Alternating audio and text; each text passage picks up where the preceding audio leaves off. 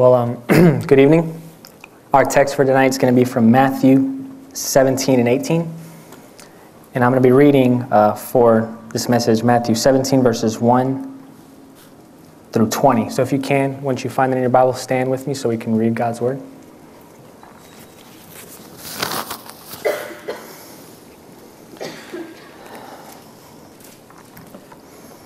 Matthew 17. And after six days, Jesus took with him Peter and James and John, his brother, and led them up a high mountain by themselves.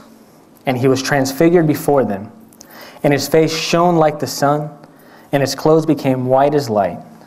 And behold, there appeared to them Moses and Elijah talking with him. And Peter said to Jesus, Lord, it is good that we are here. If you wish, I will make three tents here one for you and one for Moses, and one for Elijah. He was still speaking when, behold, a bright cloud overshadowed them, and a voice from the cloud said, This is my beloved Son, with whom I am well pleased. Listen to him.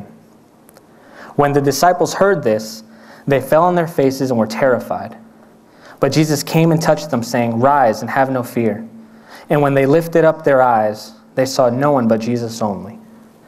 And as they were coming down the mountain, Jesus commanded them, Tell no one the vision until the Son of Man is raised from the dead. And the disciples asked him, Then why do the scribes say that first Elijah must come? He answered, Elijah does come, and he will restore all things. But I tell you that Elijah has already come, and they did not recognize him, but did to him whatever they pleased. So also the Son of Man will certainly suffer at their hands. Then the disciples understood that he was speaking to them about John the Baptist. And when they came to the crowd, a man came up to him, saying, and kneeling before him, and said, Lord, have mercy on my son, for he is an epileptic, and he suffers terribly. For often he falls into the fire, and often into the water. And I brought him to your disciples, and they could not heal him.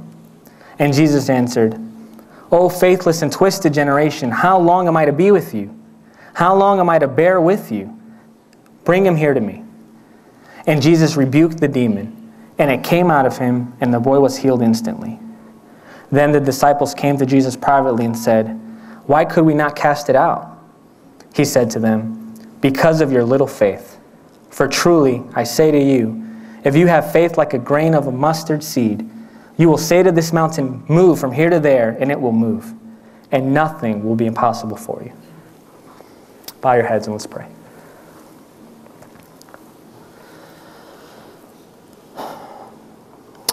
Father, we thank you for the privilege to gather here together and hear your word. Lord, I thank you for the blessing to be able to preach it to my brothers and sisters.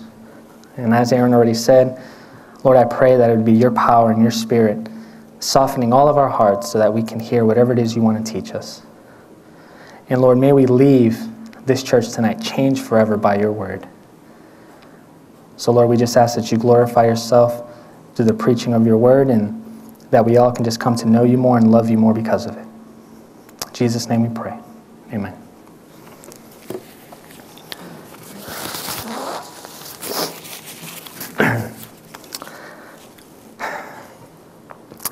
Sorry, I think it's funny that my wife has a nervous stomach and I have a nervous nose. but anyway, answered prayers are always encouraging to my faith. There's something amazing about presenting a need to the Lord and seeing Him pull through in some miraculous way. But how many times have we seen God answer our prayers only to get anxious and worried all over again the next time we're in a similar situation?